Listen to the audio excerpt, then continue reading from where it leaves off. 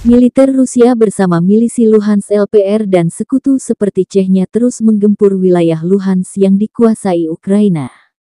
Pasukan khusus Chechnya bertugas membersihkan wilayah Zolote dan Gorsko di bawah komando Zamit Chalaev. Pejuang Kementerian Pertahanan, pengawal Rusia, Kementerian Dalam Negeri Rusia dan milisi rakyat LPR mengatasi pembebasan kota Gorskoye tanpa kehilangan personil, Komandan Alihan, Legion, Savhalov, mengatakan, berkat taktik ofensif yang kompeten, kualitas pertempuran yang sangat baik, dan keberanian luar biasa dari semua pejuang dalam operasi khusus, mereka dengan cepat mengeluarkan musuh dari sektor mereka dan membangun kontrol penuh di area tanggung jawab, tulis pemimpin Chechnya Ramzan Kadyrov dikutip Senin tanggal 27 Juni. Penangkapan Zolotoy didahului dengan pembebasan desa Katerinovka. Musuh dibawa badai dalam dua hari. Musuh harus segera mundur, meskipun memiliki keunggulan taktis.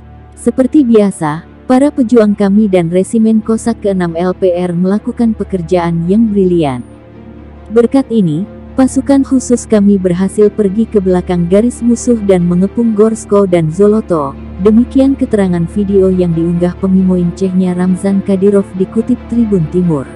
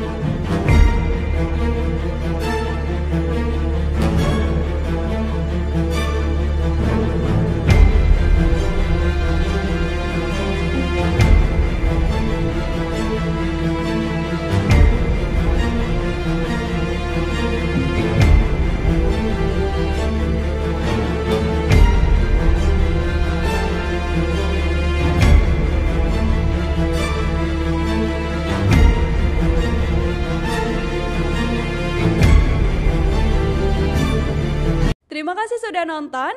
Jangan lupa like, subscribe, dan share ya.